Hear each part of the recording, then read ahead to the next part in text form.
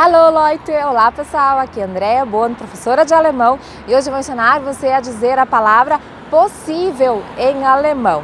Mas se você é novo por aqui não se inscreveu no canal ainda, inscreva-se no canal e ative o sininho para receber os nossos novos vídeos. Como que eu digo então possível em alemão? Möglich, möglich. Então outra amada, você faz um biquinho e fala e.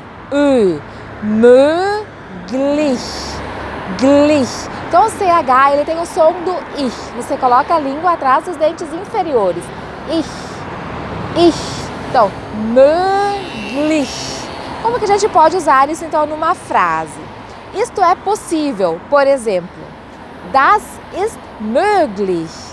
Das ist möglich. Espero que vocês tenham gostado dessa dica. Até o próximo vídeo. Tschüss!